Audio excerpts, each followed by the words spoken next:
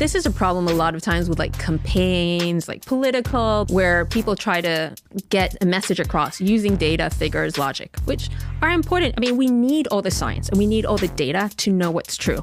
But once you know what's true, the data is not enough to convince people of what is true. And in fact, the things that work are emotion works really well, stories, anecdote example. In order to get our message across, in fact, a single anecdote is really helpful we actually have to embrace that. That's the way the human brain works. Um, and it really kind of hit home how powerful it is. Now, you could use these techniques, obviously, to spread misinformation and to do harm, of course. I've always impressed upon people as much as I can that, like, your facts and figures and charts and graphs really don't really matter when you're trying to convince people. And that's what your book really speaks to.